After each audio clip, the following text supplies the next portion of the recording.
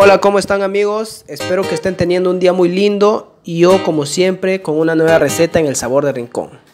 Hoy vamos a preparar el concentrado para el lomo saltado. Te invito a suscribirte a mi canal y a darle un toque a la campanita para estar enterado de todas nuestras publicaciones. Empezamos con los ingredientes. Ají mirasol, ají panca, ajo, sal, tomate, cebolla, apio, culantro, huesos de res y chuño.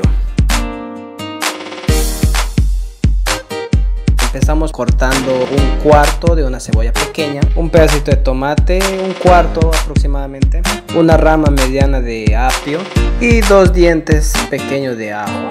Cortamos el ajo para realzar su sabor y el culantro de aproximadamente 4 o 5 ramas con todo raíz.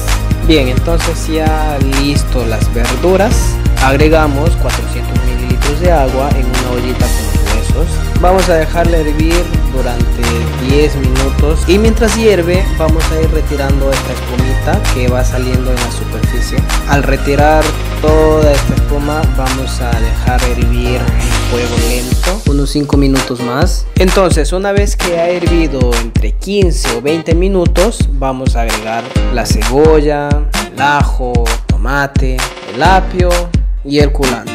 Vamos a tratar de sumergirlos y le vamos a tapar y dejar hervir unos 5 minutos más. Después de los 5 minutos agregamos 3 cucharadas de ají panca y 2 cucharadas de ají marisol.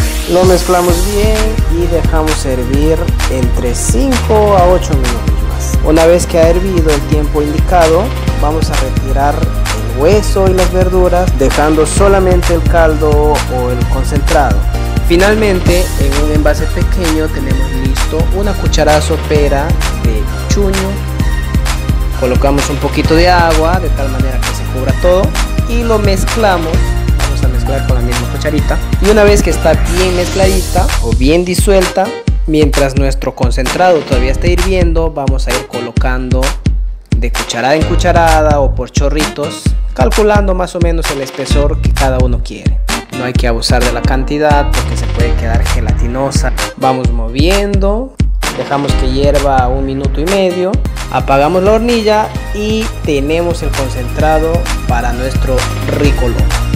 Amigos, eso fue todo por hoy y espero que esta receta les sea muy útil. Si te gustó el video, déjame tu like y comentario si tienes alguna sugerencia o apreciación. Y si no te gustó, estoy seguro que más adelante conquistaré tu corazón porque tengo mucho más para ti.